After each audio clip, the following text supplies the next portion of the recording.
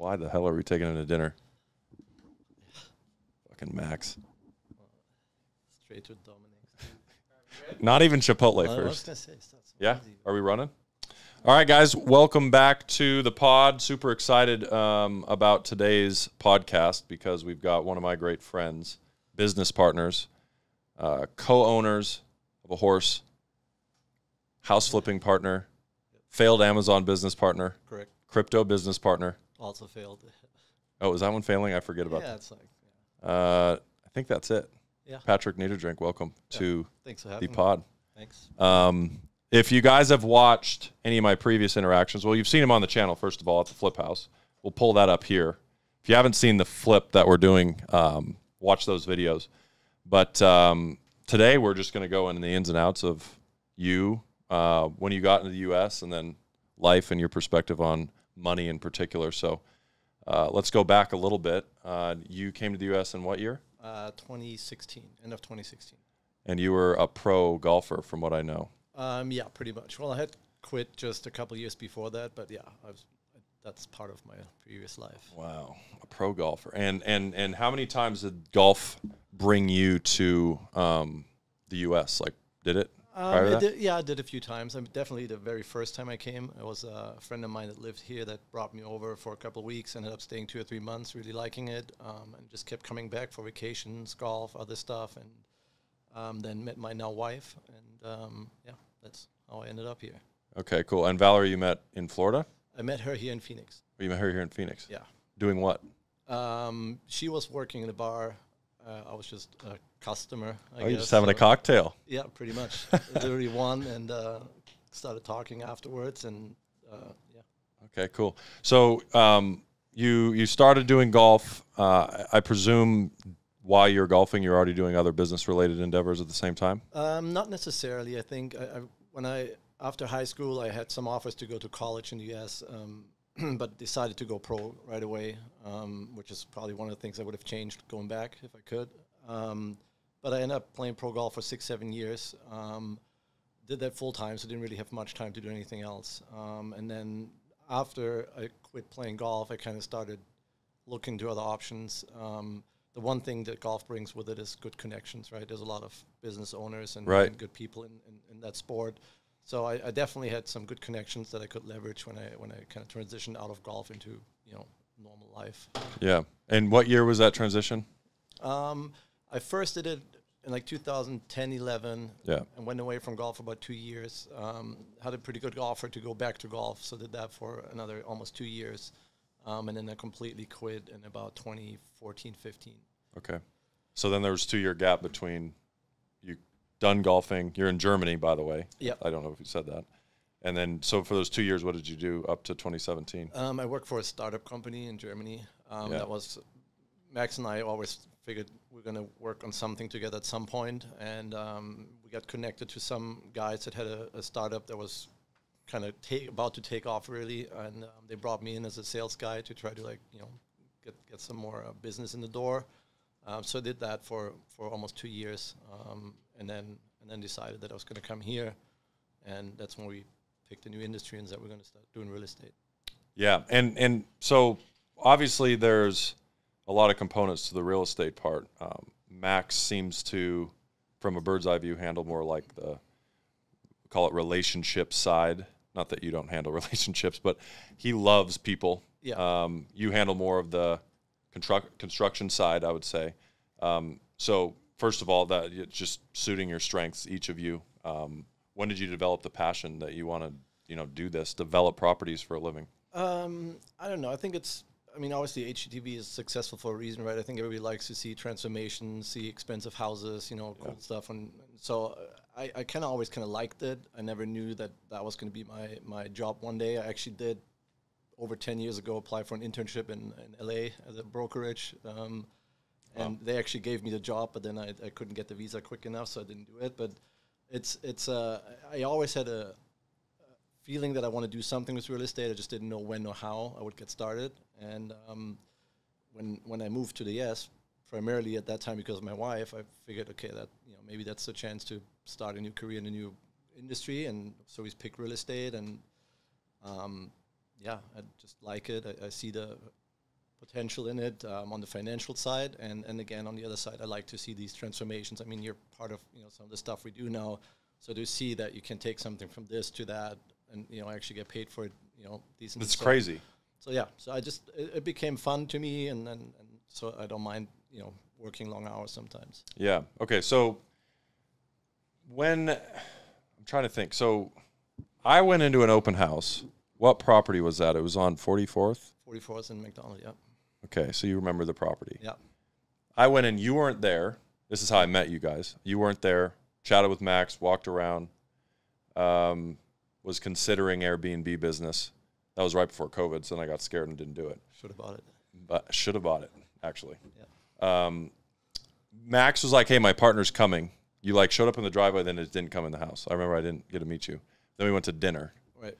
So Max has been on the podcast before, and he he said that you were saying something like, "What the hell are you going to Dominic's for?" Is that true? Yeah, I mean, I mean, he does it. Like you said, he's the one that you know does the relationships as far as like you know meeting new people or staying in touch or whatever. So um, he does it more often than I do, and then usually every he tries to like minimize it, and, and every now and then he'll call me. He's like, "I need you tonight. Like, you know, we have a dinner with this guy, or hey, uh, next week you got to play golf. Like, you have to be there. That one I need you for, right?" So he, he like kind of like tells me when I need to show up uh, when it's really important. And um, I guess for whatever reason you left Flattered. an impression, right? And, and he's like, "Hey, I, I, I don't know why, but I think we we uh, should spend some time and you know figure out um, you know how this connection could benefit both sides, or maybe it's nothing, maybe it's a friendship, maybe it's business." He just felt like there might be something, and um, as always, when he asked me, then I show up, and we had dinner, and the rest is uh, history. I mean, the best part about that was the crispy shrimp was introduced.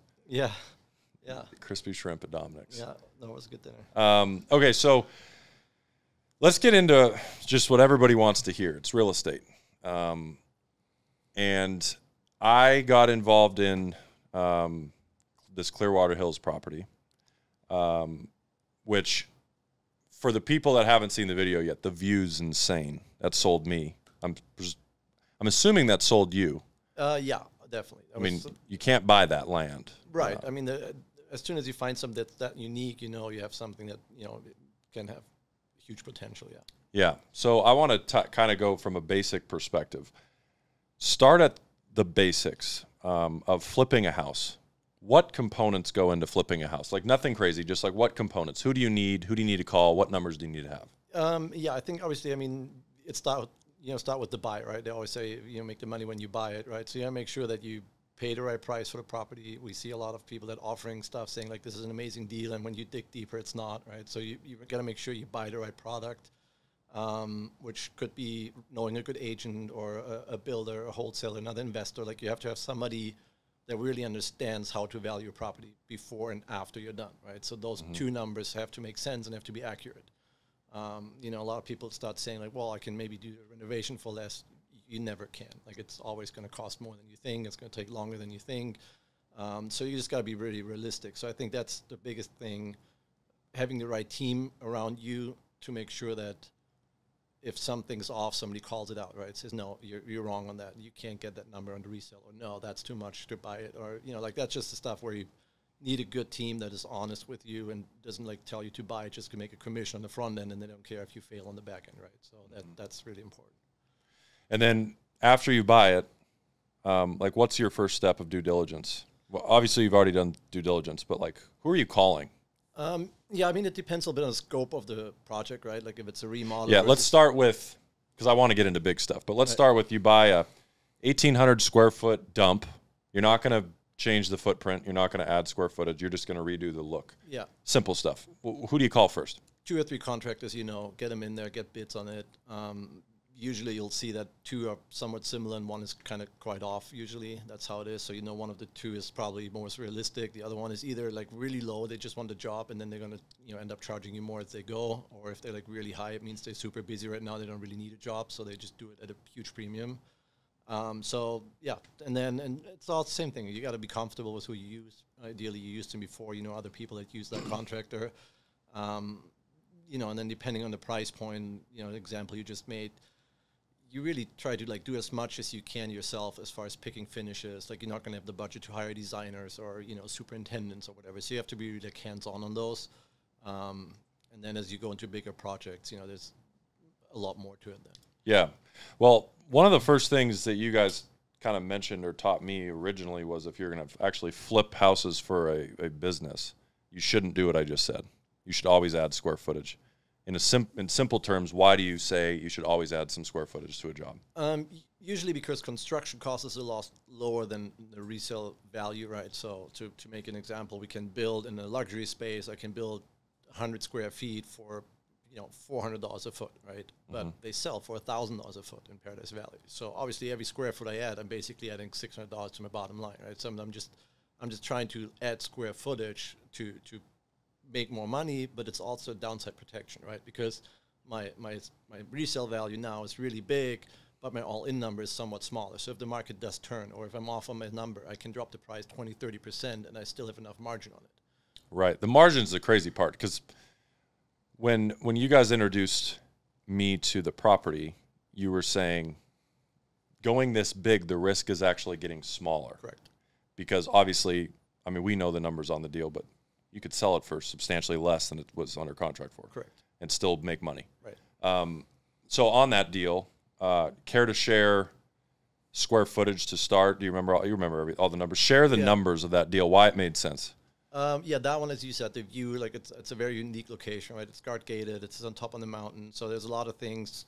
You know, you would compare it to like an oceanfront property, right? Like it's a very unique. There's a very limited amount of lots in Paradise Valley, or you know, Yeah. in Arizona for that matter, that have that view and that location. So we knew there is really no ceiling to how high we can go with the price, as long as the product matches, you know, what we're going to be asking. So we started at 3,400 square feet. Um, initial thought was to go to like 6,000 square feet, which would have been a, a smaller version of what we've ended up doing. Um, but then again, we saw the, the market, we saw the potential. We had, again, less, a lot of other people that we know in the industry brought them up there and said, What do you think? Like, can we get numbers like this, this, and that, right? So we, we kind of like tried to really feel out the market and, and saw that there's potential in, in going bigger and asking more. And again, to that point, we know we can build it for four or five hundred, and you know we were selling for fifteen hundred a foot. So we ended up going from six thousand to then ninety one hundred, right? which which set us back about six months and redoing plans, permits, but knowing the the return on that investment, it was kind of a no brainer. Yeah, 3,400 to 9,100 of livable space. And it's called what? What's the name of it? I would call this Sky ninety nine. Why the 99?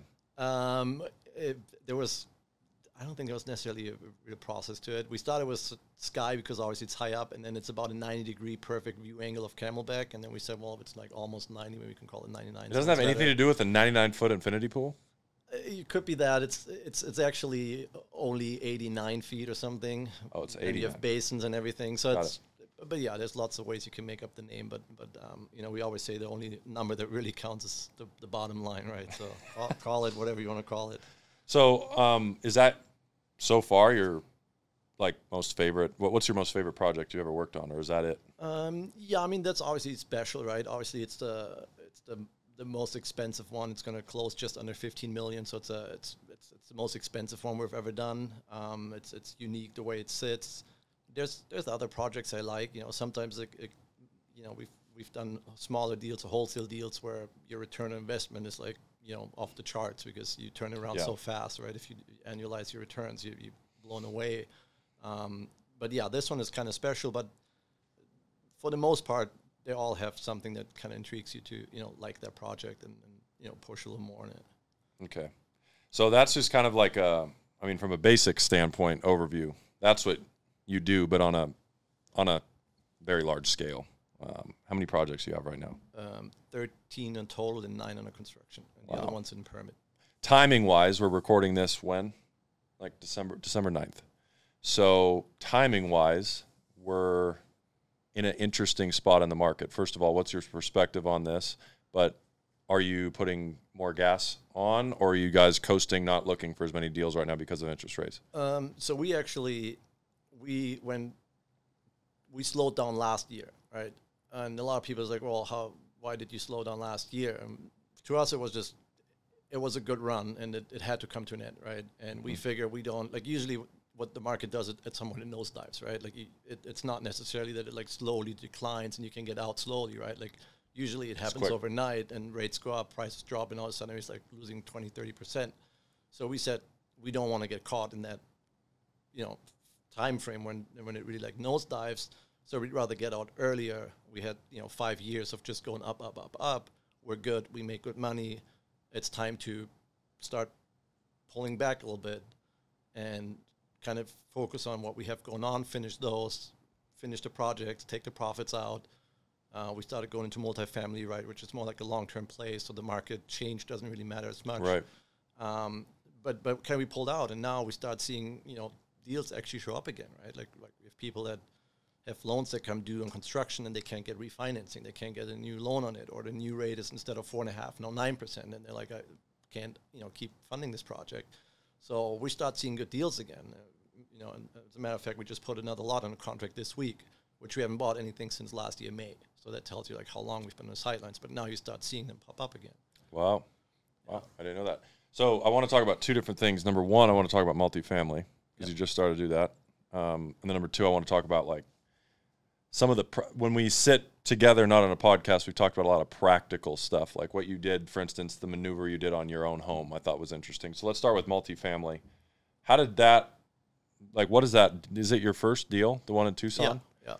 Explain the structure of that deal. Um, it was brought to us again. Team Riders came to us from a friend that we've known for four or five years now. He's an agent in Tucson, um, very successful. Does a lot of flips. Has forty some doors himself already as far as uh, uh, rental properties that he owns. Um, so one day he calls us up and he said, "Hey guys, I have a deal here. That's it's my listing. I, I think it's a good deal. I know the owner, and they they got to get out of this deal before the end of the year." And um, so we drove down there and um, looked at it and said, "All right, let's put the numbers together, see if that makes sense." Put the numbers together, and it kind of seemed like a no-brainer. Um, so we we moved forward. We used Brendan, a friend of ours, to to give us the loan for construction, everything. Um, and then Eddie's family, they're all contractors and everything. So his brother and his dad are actually the contractors working on it. So we knew we have a good team again, doing the work. No, they're not going to rip us off because you know it's their son's money, right? Like at least half of it. Um, so that's kind of how we got into it, and and um, the deal actually got better and better as we went. Um, and yeah, so it's been been a good process. Um, you know, learning a lot about the in and out about taxes and everything, right? Tax implications on that stuff. So, um, yeah, could have couldn't have done a better first Right. deal, obviously, and there's always a little bit of luck involved, but. I don't think necessarily luck because we had Eddie who's been doing this down there for you know six seven years successfully. So it, it, the luck is that we know him and he called us and, and trusted us as Yeah. being his partners and you know working with him. The property you bought though had to be fixed up, right? Is that Oh, how yeah, you? Yeah, there was uh, a total of 17 units, and there was only two that were still rented. Everything else was um, the the previous owner were going to div- like tear it down and build like a high rise building on it, and Mm. they didn't get the zoning approved and everything, but they'd already let all the tenants out, so it, it became worse to them. Um, so we picked it up. The one tenant they had paid about $400 a month, um, and now we're getting 1100 a month after the remodel. Wow. Wow. So so how does that look just from a banking perspective? You go into something that's more what would you call it? Rundown. Big big Oh, time yeah, rundown. Yeah, yeah. And then how does that work? You ref, you you refi it after it gets like how does that work actually? Yeah, I mean, this deal we can break down pretty good because we, we I mean, that's a buy and hold, so we're, we're not disclosing any, you know, um, numbers that anybody wouldn't want us to share. So we bought it for, the asking price was about one two. We got it for one one twenty five or something. Um, however, Eddie was the listing agent, and we present uh, represented us on the buy side, so we had another five percent commission we could roll into the deal, right? Which which adds up.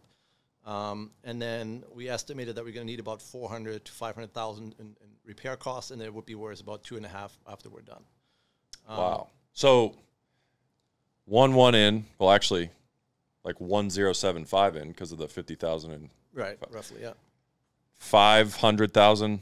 So you're like 1 5 2 5 after Right.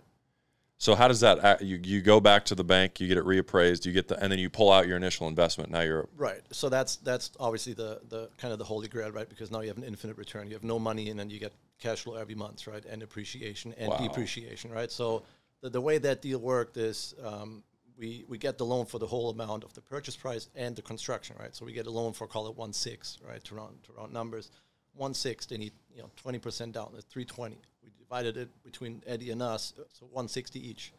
That's all the money we needed to do the whole deal, right? Um, and, and Wow. so so that's kind of how that goes, right? And now after everything is redone, we obviously went way over budget. We put it, ended up putting in another almost 150,000 in repairs and cash at the end um, because we didn't want to wait for refi. We just said, let's keep going.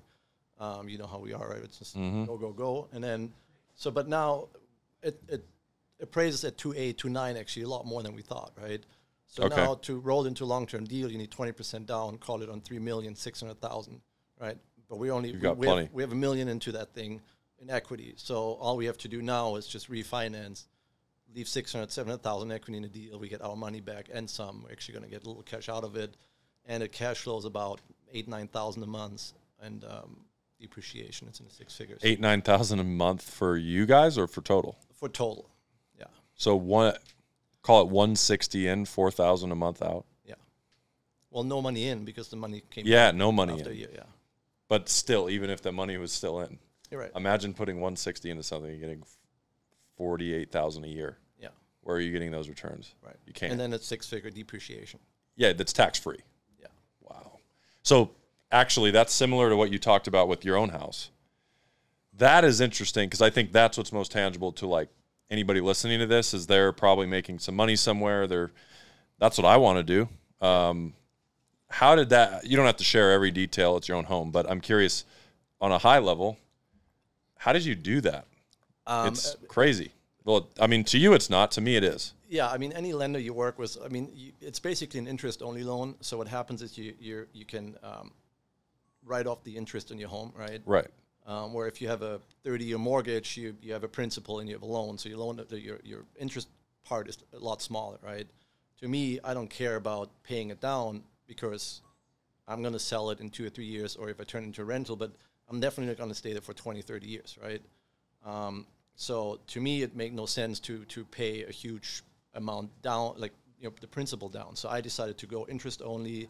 I can write it off 100 percent, um, which you know again, it, it it's a it feels like I'm only paying 60 percent of my mortgage because I get the rest I get back in tax tax deductions, and then Yeah. um, I mean the other thing is is obviously the the the interest, the way it's structured on a 30 year loan, right? You pay 85% of your interest in the first five to seven years, depending on the loan. So, really, even if you have a 30 year loan and you live there for five years, you also had almost an interest only loan, right? So, True. um, that's how we see it. Um, you know, if you buy, again, if you buy right, I bought my house, did a remodel. There's a lot of equity in the house after I was done with the remodel. Um, same thing, pulled my cash So it's like the same structure as the exact same. as the apartment. You you bought something that you didn't want to live in. Yep. You, I mean, you you- did you get a construction loan or you just use cash? Um, we actually to- use that one. We use private money. We call it private money. A, a friend of mine, a successful startup guy, um, he had some money that he said, I just want to put it somewhere. So he gave us a good interest rate, and he basically funded the whole deal for me. Um, I took 12 months loan basically with him to do Right. remodel everything, and then I refinanced a long-term interest-only loan and gave him his money back, and that's about it. So I think the most interesting part that I want to peg into here is not your guys' ability to find deals, relationships, do good business, flip. It's actually finding money.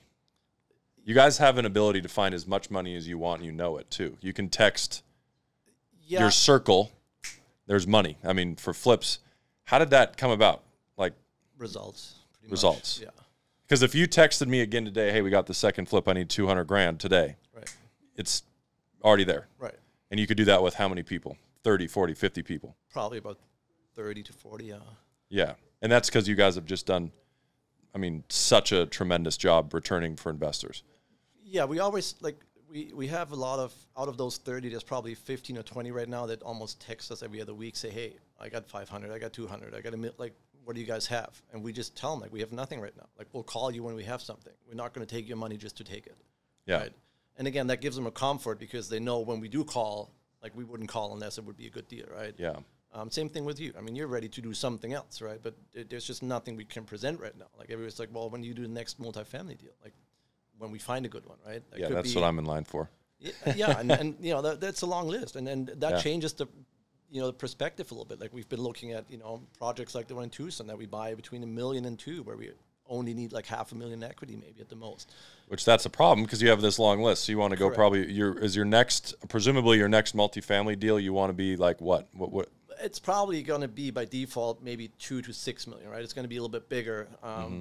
However, we also don't like to mix too many people, right? Because the more people you have in a deal, the more moving pieces are there, right? Like everybody's always like, no, I'm good. I'm not going to touch it for three years, right? Six months later, they get divorced. All of a sudden, the wife says, no, we're touching that money, right? So, Right. even though you That, that was my next question, actually. So, the human component, like, how many are in the deal that I'm in right now?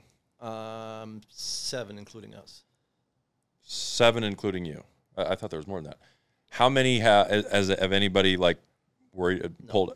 So, how many deals are like that one where it's like I haven't heard a word from any of my investors versus a different deal? Um, most of them because we structure them that way. Like we, whoever gets in the deal, we talk to them about it before. We know do they have more money if they need more for something else. Or, you know, is that all like you know Going, somebody- you don't want to go all in. yeah. Usually, if somebody comes in and says, "Oh, can you know, can I maybe put in 25?" Right? Like to us, it's a little bit depending on who it is, a little bit of a red flag because if they only have 45 in their bank account, they shouldn't give us 25 Yeah. because the car breaks down, the dishwasher goes out, and all of a sudden they're like, I'm a little tight. Can I get five back? Like, you know, Right. ex- so that happens, um, and that's why we we like to plan accordingly, depending on the size of the project, uh, turnaround time, everything. So we're trying to put the right people in the right deal, um, and and that's you know, even if we do a bigger deal, we would structure it to where it's bigger amounts, fewer people, and then again, we might bring one or two people in that do a little bit less to get them in the door, right? So they can see how we work and kind of build up with them, right?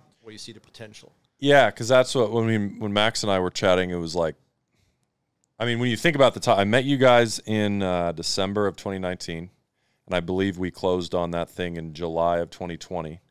So I don't remember when I had to get the money over, but it was like May or June. Yeah, somewhere. So I know these two Germans for five months, and I just wire them money. I mean, uh, for all I know, it's gone. Forget about it. Yeah. Um, so I, I think that there is, to some extent, the longer you go, the less it's worried about. Um, people like testing the waters, but to some extent, you still have to test Yeah. the waters. Right. You're not, you know, I wasn't going to give you guys my entire bank account Right. for all I know. And we wouldn't have taken it either because we d- again we don't know, right? If you say I'll give you 500, and we're like, mm, you know, like looking at everything around the guy, I don't think that's you know, Yeah, the yeah, yeah, that's yeah. all he has type of thing, right? Like he just sees returns and he puts all his money in because that tells us there's a chance that you might call us saying like I need my money out or I changed my mind, right?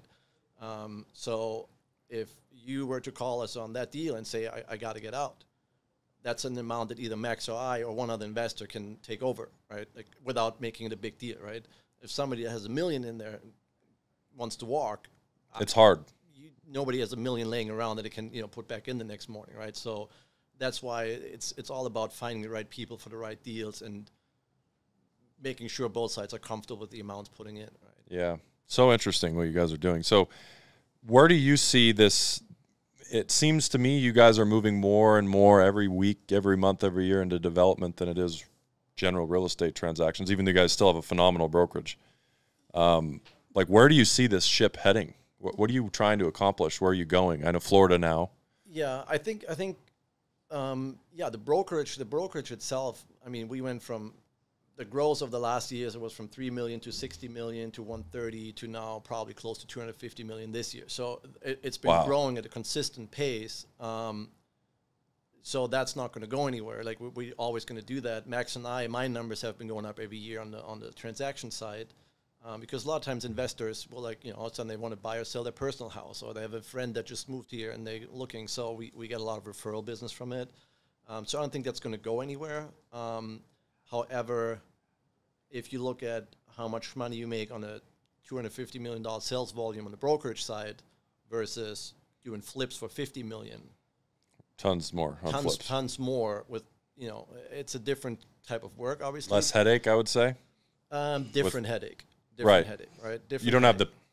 You know, this agent hates that agent, that sort of thing. You don't Yeah, have that as much. subcontractor doesn't work with that guy and this Okay. guy and that neighbor calls the cops on you because they turned on the jackhammer at 702 instead of 730 and the HOA. Like it's just there's always something, right? And you always say you get paid based on the problems you deal with, right? So Mm. so there's truth to that. Like there's a lot going on if you have, you know, nine projects. I mean, I think we added up it's over, over 90,000 square feet of luxury real estate that were under construction. So there's always something, right? And and everybody's looking to somebody that they can complain about, right? Might be the subcontractor, might be the superintendent, might be the general contractor, might be the investor on the other side on a pre pre sold. It might Right. be the client, their agent, there's just so many people in that transaction that is an ongoing construction site for a year. There's always something, right? Um, and some buyers or some sellers are better, and others are, you know, more hands-on, like they, they need a little bit more attention. But it, it's a it's a different headache. Um, but there's different profits, right? Um, so so we do like the development component, but we also, again, we haven't bought a deal in, in over a year because you know it's it's all about timing it right and doing the right things. And I, I think the biggest problem is to to do deals just to do deals, right? There's some people that just keep buying, and you're like, Yeah. what are you doing right now? Like you know, and- and Yeah, I see that a lot with yeah, like people that want to learn how to trade or whatever. Yeah. They, they they click it just to click it. When I when and I'm over here saying the best trade is no trade right now. 100. percent Side question: What's the craziest thing that you've dealt with up to this point developing a property? Like a crazy lady you found in the toilet, like the craziest thing you've dealt with, or is there any? Um, I mean, it, it's it's like I said, it's mostly neighbors. I mean, we, we had, but you know, Max and I would say kill him with kindness, right? Like we Yeah. we um we had again we had people that called the cops on us because they started two minutes before you know they're allowed to you know turn the jackhammer on. so it was like 7 a.m. they could start, and then you started at 6:58 or something. Pretty much, yeah. And they called the cops right away and stuff. And then, but, but there's 44th Street was a good example. That neighbor called the cops on us probably three or four times, and, and he came over the shovel, like threatening one of the guys, and you, you know, getting really involved. But but but the the funny story is, um, it was about seven months later. Max and I listed his house and sold it. Like we The, actually the crazy guy with the, the shovel. guy. But because we did the right things, right? Like we we made a mess, so we walked over there and gave him gift cards for car wash. Said, "Hey, sorry for all the mess we made. You know, please Wow. take those. You know, get your car wash and everything." We after that incident, we called the cops. I went over there, gave him a gift card for a two hundred dollar brunch at the Henry, and said, "Take your wife to brunch next week. Sorry for that early like." You know, that, mm-hmm. that wasn't supposed to be like, it's a stupid thing, but you have to like almost like, you know, switch side and be on their side, right? Make them feel like you're working with them. And and one day he, he called because one of the guys made a huge mess, like they tracked out a bunch of dirt. And um, so he called me because I had given him my phone number at the point. So just reach out if anything's wrong. Don't call the cops, call me, right? Yeah. So he called me. There's a giant mess in front of my driveway, whatever. So, and I was at a showing. I was wearing a full suit. It was 110 degrees, and I came over there, and the guy comes out, and I'm in there in, in, the, in the suit on the street, you know, brooming with a broom on the street, and he looks at me. He's like, "What are you doing?" And I'm like, "Well, I clean up the road. I mean, that's why you call me, right?" He's like, "Well, don't you have guys for that?" I'm like, "Not on a Friday at five o'clock. Like they're all home, right?" And then he just looked at me, and he took the broom, and he said, "I take care of it. Um, you go home." And that changed everything. It was After the that, principle. It was the idea. it, it was that in his mind was like, okay, the, they're actually nice guys. They're trying to do the right thing, right? So, Yeah. so that that flipped it. And after that, he came over. He's you know started checking in on the project, and he's like, you know, oh, I did this. Uh, you know, I have no guy that can do concrete for you, and uh, and and it became like a normal relationship. And then at some point, he, he walked over and he said, "Crazy question, but would you guys sell my house? I mean, it seems to be a good time in the market. If you not, if you guys are selling this for 1.6, 1.7 million, maybe I can get a price and you know retire." And that's what he did. We sold his house, and um, he retired in South Mountain. Wow. Yeah. That's a funny story. So, out of all of the like stories, transactions, um, I'm hearing it. It. I mean, I, I guess I don't know this. What does your day look like now? They don't know that the stuff that I know. Obviously, you have Leo now, Yeah. little lady killer. Yeah. Um, you, obviously, you're married. I mean, how? What's your day to day? How are you juggling all this? Um, well, I, I don't need an alarm anymore. I have a two-year-old, so that, You got an alarm. He, he he wakes up um, and tells us to wake up. So um, yeah, I, I wake up whatever between I don't know, let's say 4:30 and six usually. Um, sometimes I wake up, sometimes he wakes up. Um, usually Max and I start texting right away in the morning. You know, Max just goes to the gym at five or six in the morning, so Yeah. we start pretty early, talk about stuff that's going on. Um, then I spend about 30 minutes with my son. Like I'll just get up, play with him, and you know, do, do a little bit of family stuff, and then I get ready and go to work. So usually I'm on job sites anywhere between 6:30 and 7:30, sometimes earlier, um, and then do all my job sites in the morning and kind of my like you know loop that I do from one property to the next. Um, get to the office by 10, 11, 12, get all my emails, all that stuff done. Usually during that time, I get another call or two from somebody that I need to go back to one of the projects. Uh, we still have the resale side, so sometimes it's showings, it's listing appointments, it's you know meeting other clients. Um, and then yeah, office stuff most of the time. Um, you know, Yeah. obviously a lot of projects means there's a lot of moving pieces. You have to coordinate, order, you know, that kind of stuff. Um, so that that's kind of it. And, and then usually between six and eight, I go back home, and sometimes my son's still up. Sometimes it's just me and Valerie having dinner, and then Yeah. usually I'm like out by like nine, nine thirty. You're like, that's kind of it. And it's just a 12 hour day casually Yeah. every day. You do it every day, seven days a week? Um, Five six days and a a half. Now it used to be seven, and about like six months ago, Valerie kind of convinced me that I should probably start, you know, maybe not doing Sundays full days. Sometimes I still do. Sometimes I do half day Sundays, or you know, I, I give her half day Saturday and then go back Sunday. But Yeah. uh, for me, because the the week is very busy, like the weekend is my time where I get like I sit in the office sometimes on Saturday for twelve hours straight, and You get a ton done. I get everything done because nobody's at the job sites, nobody calls me. Mm. So I, I just get so much done. Uh, I just need that time, right? Like during the week, I just don't have that uninterrupted time. So, and, and it's one of the things where I, we've been doing it for almost five years now, and I don't plan on doing that the next 20 years. But I think if we keep going at that pace, you know, maybe in five years, like, uh, you know, I can go to like work part time and. Which know. is 60 hours a week for you. That- yeah, right now. Well, yeah. I mean, the goal is to yeah, the goal is to like take weekends off, like full Yeah. weekends off, and you know. Well, that was actually my question is like, obviously you're not working like a horse for no reason. Like right. what, what is your big picture goal? Um, Do you have one? Time yeah. stamped? Um, well, sooner than later, right? Like, there's Yeah. no like specific time. Um, I, I think, I think it's more, you know, how everybody else said, it's more about the freedom, right? Be, uh, it, I would like to be able to just not have to go to work this week if I don't want to, or if my family says let's go, you know, to Disneyland for the week, not have to think about can I or can I not, right? Like, set up the businesses to where we can leave and they still work, uh, which I think we made a huge, huge progress the last two years on that end. Um, and then the other thing is obviously the financial component, right? Like, Yeah. I mean, it's it's you go to like the Polar Express, it's like a ninety minute train ride and costs you like seven hundred dollars, right? Like everything has gotten ridiculously expensive, Totally. right? Like it's it's so to be able to do that, you know, and there's always something, right? And picture with Santa for seventy five bucks, and it's just like everything just gotten like out of control, I think, right on the on the sales side, and then you know, I might buy a shoe here and there, so. Oh, It, it just adds up, right? So Might. me- yeah, might. might. Might. We won't go down Um, that path. But yeah, so it's just to me, it's just like yeah, life is expensive. So Totally. I want to get to a point where I have a, a number per month that I know I can like. I don't have to worry about anything. It's coming. It's, it's coming, and there's another reserve of you know if it's not coming, like that's to me where I want to get to. That doesn't mean I'm going to stop working at that point, but it, it means if I want to go to Europe for four weeks and just do nothing with my family, I can. To just have that option. Is the vehicle to get there multifamily? I think it's a big part of it, yeah, Yeah. because it creates passive income. Um, Yeah, I'm still just blown away by the. I mean, the that structured of a deal, like yeah, four thousand dollars, give or take, cash flow every month off of now no money in, but call it Right. one sixty is just. I mean, it, no money in. It's yeah, it- I mean, four thousand dollars a month for most people, as you know, is a full time job, Right. and that's mailbox money now. yeah. The, the other thing is, you know, like uh, there's two different ways on doing it. You got to remember, like when Max and I started, we had like no money, right? Like we couldn't have just put fifty thousand in a flip or something. Like we, we mm-hmm. didn't have the money to do any of that stuff. So it's not necessarily that you can do that same deal with zero money because the deal made so much sense on, on paper. Like everything somebody will so take good. it. I could have gone to like 20 different people and say, "Can you give me 150,000? I'll pay you 20% of your money and you get your money back in 12 months." Mm-hmm.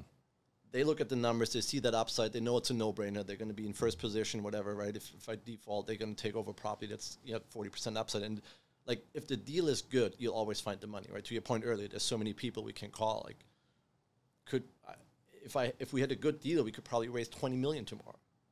But if it's a shitty deal, we're not even going to get 50, right? Because most people are so educated that we work with that they would call like that's not a good deal. I'm not like you know that's that's the thing. Like if you have a good deal, the money is the easiest thing in the world. There's, there's more money than there's deals, Yeah. right? So that's So, you came here with not that much money. No. Fifty thousand. Max and I had combined about 88,000 we put into a little townhouse. That Yeah. was like all, all in. yeah, when I moved here, I moved in with like Valerie, and that was a 700 square foot one bedroom apartment for 650. Right. month.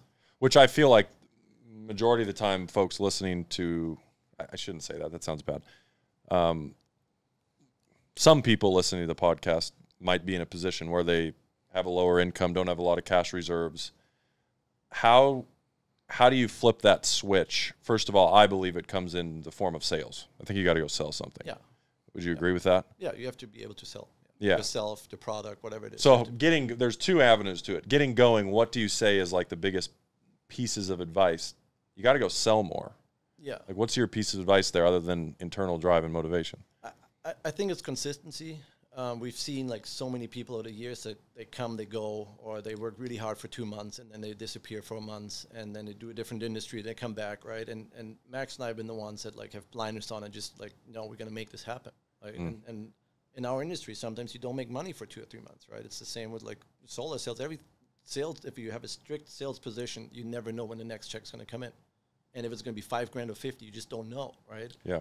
the more the more you do, the better you can predict it, right? If I have so much in the pipeline, something's going to click, but I don't know how much or when, right? If I do less, then I don't even know if anything's going to actually come to fruition, right? So I think the consistency and, and, and staying focused on one thing, and even if the money's not coming in, just trust the process. Like the second you you get like sidetracked, you do something else because you think, oh, you know, my buddy's whatever doing this, and I can you know help him, and I'll make an extra five grand the next month doing this.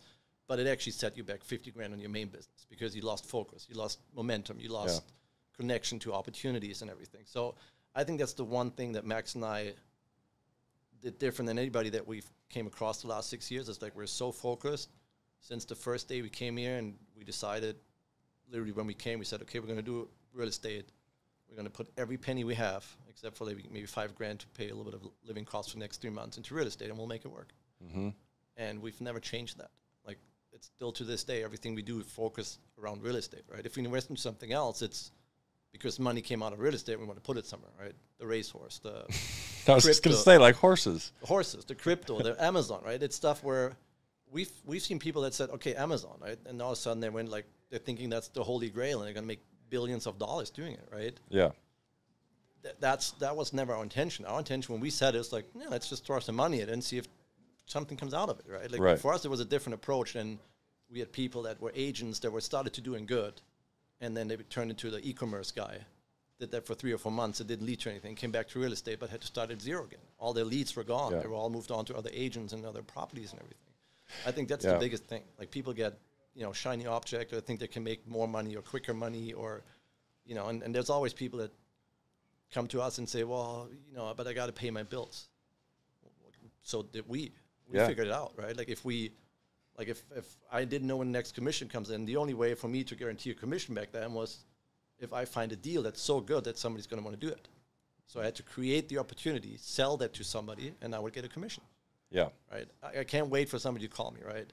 And I think that's the same in everything. So that's the, but we never changed the focus. We said, okay, we need to make money. Yes, we have to pay bills, but it's got to come from real estate.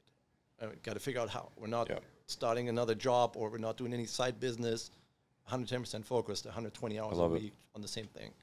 Well, I think staying hyper focused, not changing um, whatever you want to call it, vehicles. So if I'm going to do real estate, I'm just going to do real estate is the most important. But I think there's a there's a second component that most people don't realize. I see it in solar. So these guys will start, oh, I'm the door knocking guy, and then they see, you know, this rep having success virtually. So then suddenly they're like, well, I'm no longer going to knock doors, even though they've just made 150 grand their first year knocking doors.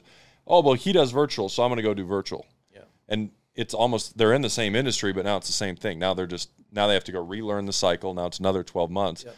and it causes them to go backwards. Yeah. Um, so that that could be a double edged sword. The second question that I asked Max on a previous podcast was, now you're making money. Let's imagine you're a sales rep making whatever 20, 30, 40, 50 grand a month, whatever it is. How do you stay motivated? How do you stay motivated to keep going? Um, I, think be in the right circle, hang out, out with the right people, right? Like if you, if, if, you know, you, you go somewhere, like Max and I went on vacation, we go with a friend of ours and, you know, he's you, look at a boat, right? And the guy's like, what, 275? That's not bad. And in our mind, it's like, that's a lot of money for a boat, right? Like considering we live in Arizona, where you're not, you know, you're not going to use it much, right? Yeah. Um, so change your mind. You're like, okay, like I want to be able to say that at one point. Like, Right. You, you kind of, you know, if you hang out with the same people, you always hang out, and they just bought a brand new BMW for forty five thousand. You made that in two weeks. That's not going to push you to do more. You're like, yeah, I can buy that car next month. Mm-hmm. Right. So you, you kind of like the, the people you hang out with, the stuff that they do, the stuff that you see, makes you realize that fifty is actually not that much, right?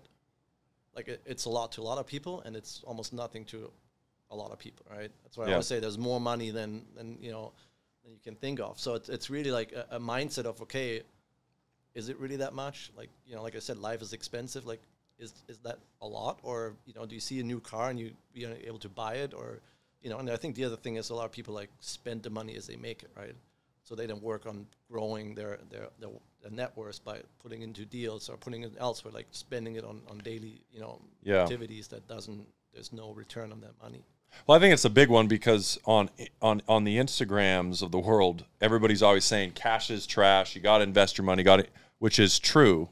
But whoever got rich, or as you say, moved the needle off of a five thousand dollar investment, you have to actually have a significant, you know, Yeah. sitting cash reserve savings account of money to go make something happen. Yeah, and to time it right, right? Like if something pops up, right? Like if again, if there's a good deal, you want to be able to to make something happen, right? You don't want to miss out on a good deal because you can't, you have no money on the sideline or something that you can deploy to the deal, right? Um, so I think there's there's different different ways to do it. Um, you, yeah, you don't want to have you know millions in your bank account doing nothing. I get that, but you, need some money ready to go if somebody calls me tomorrow and there's an amazing deal and they say we need 200,000 down, I want to be able to do the deal and not miss out on it, right? I So agree. you need some money, right? And it, it, depending on where you are in your career, 10,000 might be some money, right? And to others, half a million might be some money, right? Again, it depends mm-hmm. on where you are in your career, but I think you have to be able to to access some a certain amount of funds if something pops up. And again, also you have to be able to have a certain amount of funds in, in case something doesn't go as planned, and all of a sudden you need money Yeah. you know. So that's So, other than the investments, what other? I mean, I know the answer to this, but I'll let you share as much as you want. What other things do you put your money into, other than Uh, shoes? um, well, yeah. Shoe, for, so shoes, for example, is obviously something where whatever you put in is gone, right? Like you'll Yeah. never see your money back. Is Um, there anything that you happen to buy, items that you like buying that uh, actually hold their value? Yeah, watches. I mean, we, so we talked for it. about that. And to me, it's like I don't, I don't. We're not in that game to like, you know, yeah, I can buy a watch for ten and it's worth twenty tomorrow, right? Like we talked Mm-hmm. about this. But to me, that's not the the plan. It's like it's, it's a I enjoy it, and it doesn't lose value at least, right? Like I can like a- sell. Mindset piece too. yeah, like if you look up a gold Submariner from 1985, right? That thing still sells for more than they bought it in 1985, right? So to me, it just doesn't lose money. So to a certain way, and it's something I can liquidate overnight, right? If if if I need to get rid of that watch because I need 30 grand, I can go to a jeweler tomorrow and they'll buy it back for 35 grand, right? Because they can sell it for 45, 50. So to me, it's like it's it's almost like a savings account, right? It's something where if how I I really needed 30 grand, I I can take that watch tomorrow morning. Like I would go with my ATM card to the bank, you know, and say, hey, I need, you know, my money out. So that to me is different. Shoes, like I said, I know if I buy shoes for three hundred dollars, I'll never see that back, right? That money's Mm-hmm. gone. Um, and again, there's different things everybody spends money on. Some people like to travel. You know, I always have a hard time spending a lot of money on traveling. Just it's a, Really, I didn't know that. yeah, to, because to me it's gone. you mean right? like hotels, or, or all of it? Like yeah, like Ma- like Max and I in that sense are very different, right? Like he'll go to LA, spend five grand on the weekend, have the best time of his life, right? To me, in my mind, I'm like, that's half. gone. A, that's half a watch that I could buy. See, I'm, I think I'm more on your side. Yeah. Um, first of all, it's hard for me to go on a vacation. I can't remember. I, I've never gone on a vacation where I literally was able to shut the laptop and not be on the phone. I've never had that happen. yeah. But I think that's more. I'm in your alley because there's plenty of these. What's that one up north? It's in uh, Utah, Amangiri. You ever heard of Oh that? yeah, yeah, yeah, It's like twenty nine hundred a night. I've Yeah. really wanted to go, but at the same time, I'm like, man, like. Like you said, my weekend is another root beer, whatever I want to buy. yeah, that's to me. I- just don't think I'm there yet in a way, right? Like where I can spend five thousand feels like nothing, right? Mm-hmm. Um, and to me, so it's like if I if I go to LA and I pick a hotel, I can pick a nice hotel for 300 bucks a night, 400 bucks a night, right? Or you can stay at the Beverly Hills hotel and pay 1500 a night. To me, it's like it's a bed. I sleep in it. Yeah. Maybe doing other stuff while I'm Four hundred night hotels are not like I like how you said that in such a casual way. Yeah, Like there's uh, like there's like hundred dollar hotels. yeah. if Four you hundred is very nice hotels. Yeah, yeah. I mean, yeah, and that, I think that's to your point. I think that's where you adjust a little bit over the years, right? Like the first time I went to LA, I, I stayed in a place where I probably wouldn't even go in that neighborhood anymore, right? Like, I, but it was like my budget was like you know hundred bucks a night. Yeah, you got, got to start. So it changes. Yeah, like every time we went back, we're like, well, you don't have to do the Motel Six anymore. Let's Yeah. go with the Holiday Inn, right? And now you're like, ah, maybe that's you know, like you, yeah, you, your standard, you know, goes up a little bit as you go. But again, to me, there's like a there's a nice, totally fine hotel, right? And then there's there's the, the fancy one, right? So there's a lot of things to me. In the car, I see it different again, right? If I can spend 50 on a car or 200 on a car, the cars there's still value there, right? It's going to depreciate somewhat, but again, if I sell that car, even if I get 150 out of it, my money is still there. I can touch Yeah. it. If I spend 200,000 on a three months vacation in, in Ibiza, I'll never see it's gone. Like It's a good memory. It's a good memory, but you know, uh, that's to me like I, I have a hard time spending bigger amounts on something that have zero I get value that. to it. I think watches, um, like another component is we don't get trophies. Right. Like nobody's going to come congratulate you. This is like watches, in my opinion, are kind of like little mini trophies, Yeah. sort of. I guess. Yeah. I mean, how many trophies can you get? I guess in your case, a lot of trophies. We'll just leave it at that. Yeah, I, I, I, a good friend of mine that's a pro golfer. He was world number one everything, and they asked him like towards like his career slowed down, and somebody said, "What's the biggest like you know regret on your career?" And he said, "I didn't celebrate my wins enough." You know, Yeah. I, I won the U.S. Open championship, and I flew home economy the same night, and the next morning I went to the same breakfast place I always go to, and went back to practice on the next morning. Right, like I didn't even digest that I just won something that's so valuable. Right. And I think a lot of people, if you keep go, go, go, right, if you have that mindset, you just want to keep going, you sometimes people tell you, like, that's amazing what you just did. And you're like, Mhm. I didn't feel like it. Because the next morning I was already so back into the mode. So I think, yeah, I think watches, cars, certain things can be can be something that remind you of, okay, you're actually doing well. Like you, Yeah. you've got here for a reason, right? Well, I think it's also it becomes you said it's so relative. It becomes so numbing. Um, I went to Vegas. I don't remember what year. It was my first time in Vegas. The Aria. It's called like John George's Steakhouse or Gene, and I, it was the first time I ever gone to a restaurant where I'm like, yeah, I'll have the steak, potatoes, corn, and and I wanted Fiji water because they said, do you want Fiji water? Yeah. And the bill comes and it was like twelve dollars per bottle of Fiji, fifty-five dollar steak. Mashed potatoes were twelve bucks. I didn't understand that whole concept. So at the time, I was pissed at myself because I spent three hundred dollars for dinner. Whereas it, it again, it becomes relative. Now it's like if I go out to eat, I almost don't even want to go and get a steak unless I'm I'm getting the American or the Japanese wagyu. It becomes like relative. Right. Um, have you experienced that in the? I don't know how much you want to talk about cars, but you've driven and had some very. Can Can I share a cool story? Yeah. So I get a, I get a text from him uh, after I closed on the house. Very soon after I closed on my house. Are you home? Yes. Come outside. And I come outside. Nobody's outside, and then I just hear this noise, and comes around like an Aventador or something. I can't remember what you had just bought, and we whipped it around. Um, I'm curious on those. Like, have you actually ever? Do, do you make? Is there a, a monetary gain in owning a very expensive like Lambo like that? Um, I mean, we had we had two, and we were lucky in both of them, but that was just because of the market. You know, like Yeah. we, we sold both of them for more than we bought them for. Um, however, that's that's making it sound better than it is because those things are very expensive in the monthly upkeep, right? Like insurance and you know, like What is it for the like? People want to know what what does an insurance um, cost well, on? for us, it was very expensive because we didn't have a long driving history in the U.S. I think Mm. it was about eleven hundred bucks a month oh, that's awesome. Yeah, Oh, and it goes down after six months because now they there's they're called They trust you. Well, they're called exotic, so they, they value them different than any other cars, right? So they have their list of cars that are on that exotic list. Um, but I do think it there's a value in you you go to different places, you meet other people, right? Like like Max went on on the Lamborghini Club Arizona thing, and they do like a drive for two and a half hours through the Right. desert and do lunch and Cars and coffee. You guys have parked at. Like, like- does that help business? Have you guys ever had a client because you had a Lambo? hundred percent. You know, I'm considering. Yeah. The thing is, He's trying to talk me out of getting a, a Urus. but- yeah, the Urus. Like get a different Lambo. Um, I can't fit in it. that- yeah, that's true. But but um, no, I think the it's hard to point at it, right? It's the same Yeah. thing as again, you go like 100 miles an hour on everything you do, so it's sometimes really hard to to say this came from this, this came from that, right? Like it's really hard sometimes.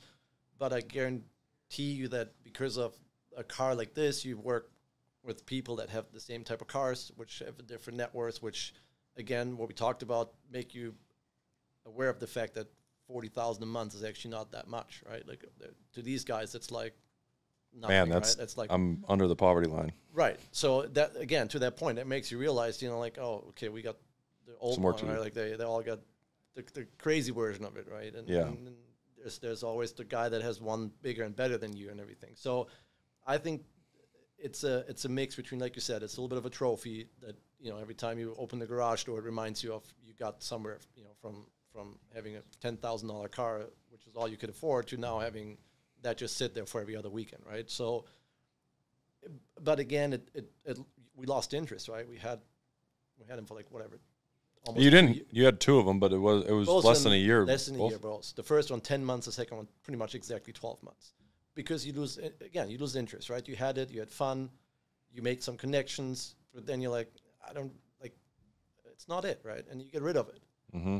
And now it's been maybe, what, five months without it, and we're starting to talk again. We're like, uh, maybe Oh. if that pops up, right? But I think that's Shout out Tony. yeah, shit, Tony. Yeah, he gets a text every other day from us. Um, so I think that's the, yeah, it's it's like you said, it's a little bit of a trophy. So selling it and getting something else, something different, you know, a year later feels like you got it again. Right. Versus having the same thing still sit there and getting old in a way because you get used to it, like it numbs you a little bit.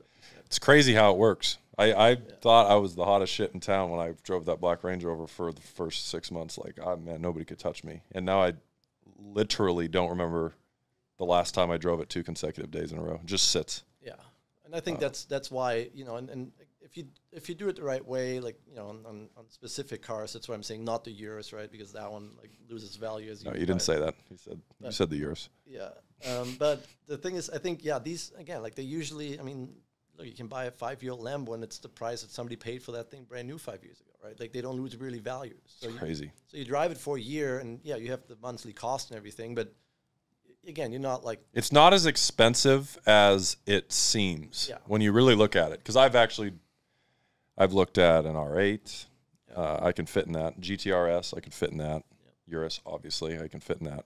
And when you really just peg down the numbers, here's what it'll be. And I'm I'm I'm starting to learn. Okay, I'm not going to use all. I, every other car I've just bought all cash. It's like yeah, now it doesn't make any sense No. because there's some better plays.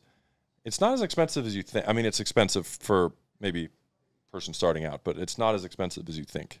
yeah, and, and again, it's a it's it's an investment in, in yourself and in your business too, because again, it'll create opportunities. It'll get you into you know different conversations with different people. Like I, Yeah. I totally see, you know, especially if you're in a sales career, it kind of shows that you're successful, right? So it makes people listen a little bit more to what you do, or maybe follow your advice a little bit better, Yeah. um, because they see that you got to a certain point with that. You know, so Yeah. that that's kind of what that does. Well, the second component of the cars, you guys have uh, some cars on Airbnb or not Airbnb, um, Turo. Turo. Yeah. Turo. How's that going? I, I I still want the Wraith, by the way.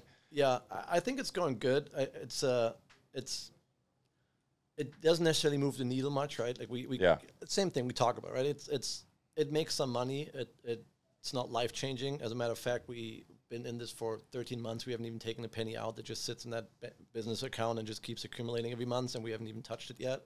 So it it it's not a big thing, but it was more like the same as the racehorse. Everything else, like we want to test different opportunities so that if we do make more money, we know where to put it, right? Like Yeah. We, know we're not putting it in Amazon, right? No. That's off the list. But you know, like it, it's it's you it's it's a little bit of a test, right? That's why you, you don't go with crazy numbers or you go with something that's you know somewhat of a safer bet, right? Again, like the car we bought in there, it's not going to lose much value because of the car it is, and it, it'll keep its value, right? Yeah. So, and, and yeah, no, it does good, and again, it helps sometimes with clients. We had clients that fly in, they ask us for a rental car, and we're like, we'll, we'll take care of you. Yeah, it's perfect. So it, it makes sense, but it's not nothing where you get rich. Yeah.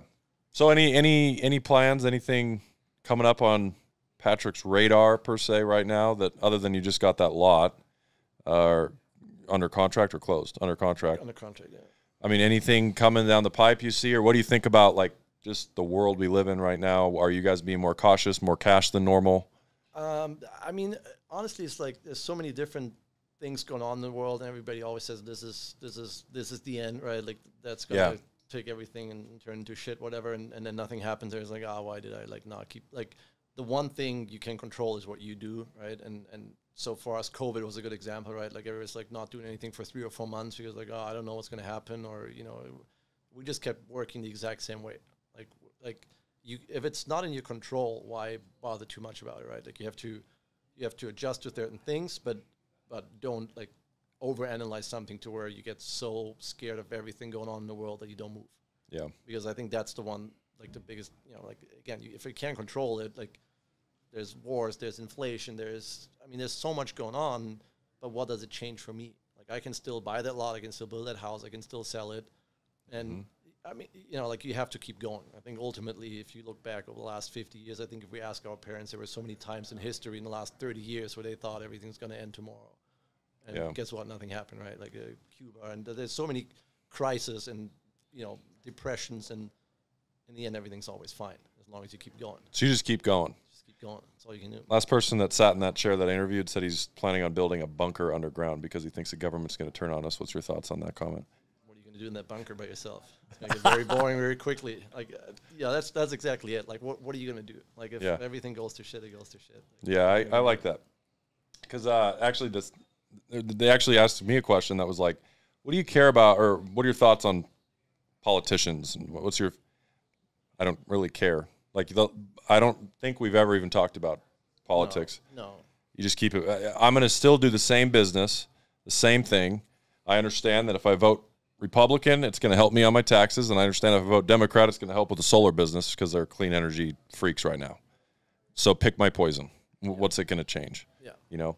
Um, yeah. Any any last thoughts for someone that's getting cooking, as you would say, getting started? Like any pieces of advice to say your younger self, what you would have done differently, how you would have moved differently, just different things like that.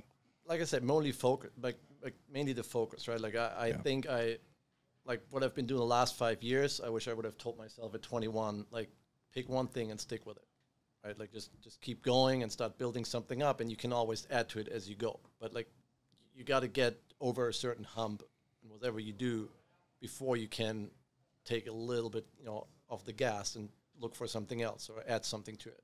Yeah. Like if you if you you know it's it's literally like that mountain you're trying to get up. If you step off the gas a little too early, you're just not going to make it, right? But once you get over that hump, you got a little bit of momentum. You're you're you know you got something that's there that's built up that that's going to help you in, in life. So. I think that's the biggest thing because I've done it too before where, you know, I did this for two years and it started getting good, but then I got bored of it or I thought something else bigger. So I've done it before, before we picked real estate and said, okay, no more, This is playing, no more playing around. Like, you know, that, that's what we're going to focus on. yeah. So I think that that really is the number one thing. Like just just you know, pick something and, and like see see it through. Yeah. Well, they there's that quote that's always circulating. The average millionaire has seven sources of income. Well, behind the quote is those people probably all started with one thing and stuck with it long enough so that they could invest in seven th- different things. Exactly. Yeah, that's that's exactly you know like kind of how we, and and you got to find, you got to invest a lot of stuff to find seven things that actually work and make Right. money. Right. Like restaurants, there's so much stuff where you make no money, but you have to maybe try it. Right. Like we talked about it. We came close once or twice. Like yeah, maybe we just do a restaurant thing. One day we'll do it. Right. And there's a 50-50 chance it's gonna go to zero. Right. Like restaurants, they, they tend to go to zero or they do really well. Right. So to get to seven streams, you have to you have to probably try 20, 25 to get like seven good ones.